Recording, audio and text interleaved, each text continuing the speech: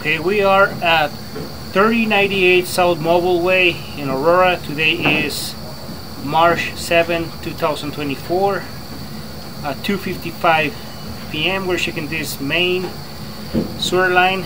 Uh, actually, we're we're checking the secondary line from the floor drain after cleaning.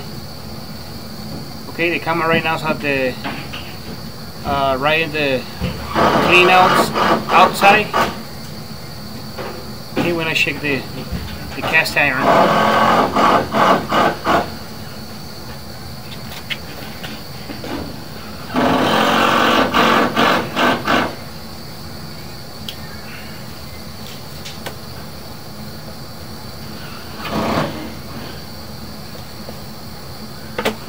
Mm -hmm.